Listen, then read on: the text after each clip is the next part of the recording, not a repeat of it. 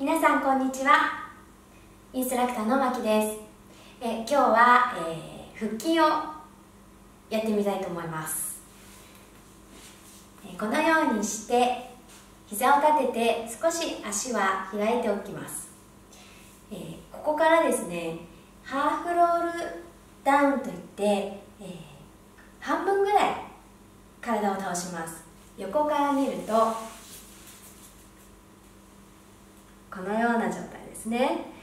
この状態を作ったら手を離してそして弓を引くように片方を後ろに引いていきます。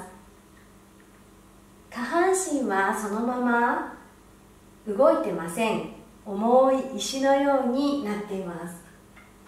手だけ後ろに引いて体幹部をひねります。さあこれが余裕だという方は手を後ろにして重心が少し、えー、先ほどよりも後ろに行きますので、えー、きつくなります。これで手を上にさらに伸ばして体をひねります。片方の手が上に上がったら片方の手は肩に置いて体をひねっています。目線も後ろに引くとより体がひねれます。伸ばす手は遠く上を伸ばして。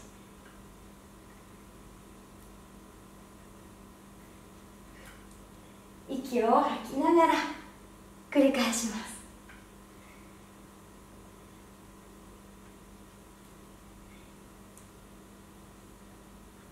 はい結構です。